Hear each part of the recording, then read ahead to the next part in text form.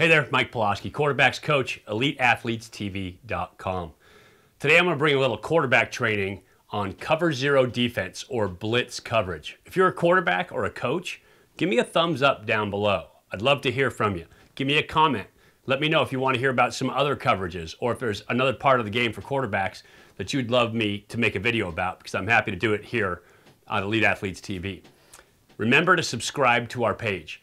When you subscribe, hit the bell. That way you'll get notified every time we get new content out that you can use as a quarterback to improve your game. With that said, now let's take a look at cover zero and improve our game mentally.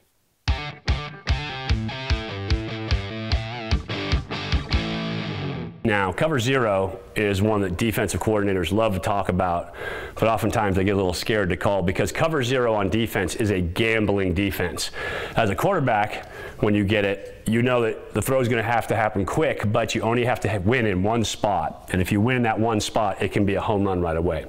Why do we call it cover zero? Well, as we talked about before in our other videos, and if you haven't had a chance to go back and take a look at some of our other coverage videos or personnel videos, go back and take a look at those now because it'll help you out uh, understanding the game.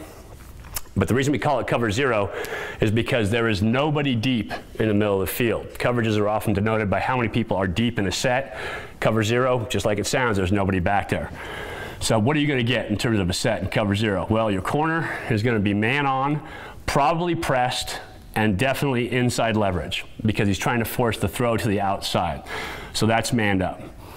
Strong safety is going to be manned up over your strong side receiver. This can be a tight end, in this case, like we have him. It can be a receiver out here as well. Excuse me, this could be a receiver. So either one of those, strong safety will be manned up over him. We'll leave him as a tight end for now. So he's manned up here. Your free safety, who would be in the middle of the field the cover one, will come over the top and be manned up to your number two receiver on the weak side. And your corner will be inside leverage and manned up to the outside receiver as well. So as you can see here, cover zero, all these guys locked in coverage. One of your linebackers will be manned to the back. If he's set strong side, Mike will have him. If he's set weak, Bill will probably take him. And so what does this give you? Well, the strength of cover zero is you know you're going to get some pass rush. This is the, the set, the coverage that coaches run when they want to gamble. So you know that you're going to be able to bring strong side backer, tackle's always coming, nose is always coming, other tackle's always coming, and your will's coming. So there's five guys right there, but you could also bring an extra backer. And so if he's not in man coverage, he can also come as well. It means six men rushing. Up front, you've got one, two, three, four, five guys to block. And this back can help in coverage, slide to take a backer, or if you're going to run a slide protection, he could take outside and you slide this stuff down. But you have six to block six. Remember, the defense only has to win in one place to get to the quarterback. So it's an aggressive pass rush style of defense.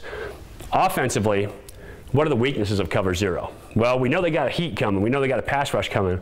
But everybody in their defensive secondary is locked up man to man, which means if you beat one guy, it can be a home run.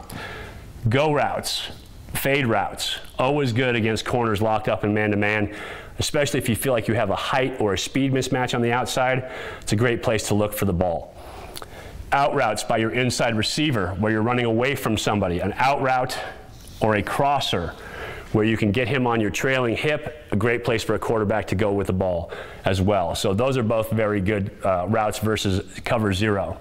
Slant routes, if you come over here, a slant route versus this corner will be great because you'll have some kind of accompanying route inside either a slant to clear that window or you'll have an out to accompany that route, and so you'll have windows to throw into here. Slant route's great versus man coverage if your receiver can get off the ball.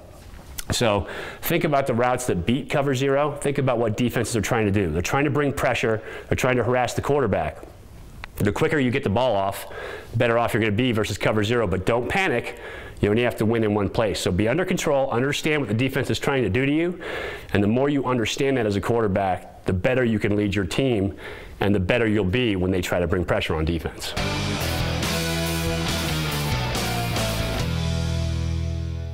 Well, you know when they're coming as a quarterback, you got to know where to go with the ball. Now that you've seen cover zero and understand blitz coverage a little better, you've got an idea.